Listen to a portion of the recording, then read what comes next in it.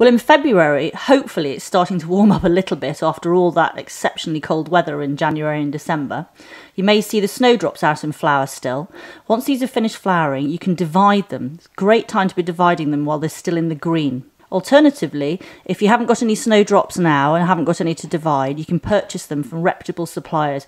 Usually, you buy these sort of end of August, September, October as a bulb and then plant them for flowering this time of year. Or you can purchase them in the green in little pots from nurseries and garden centres. Purchasing snowdrops in the green is usually best advised because you know that they're certainly going to come up. They're one of the few bulbs that don't last well as a bulb, a dried bulb. They like to be planted straight away when bought. There are a few things that flower in February in the garden. Obviously, I mentioned snowdrops earlier, they're sort of January to February. You will have your daffodils and bulbs coming up soon, but they won't be in flower yet. Hellebores are a lovely, lovely little perennial. You get these in different colours.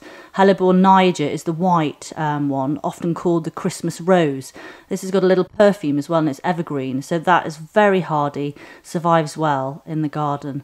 Also in flower in the garden at the moment are primroses, primula. Primula vulgaris is the native primrose, which is yellow. You'll see that in uh, hedgerows and things like that. Beautiful. Um, you don't need a budget to divide your perennials. So one perennial makes two plants, therefore cost saving. So March time, end of February, you can be lifting and dividing your perennials. Make sure you've cut the tops back lift out the whole plant with a fork, trying to not disturb the roots too much if you can and then with a very sharp knife, find a sort of natural line to cut it in half. Either you can put these straight back in the garden or you can put them in a pot, but they need to go in compost straight away.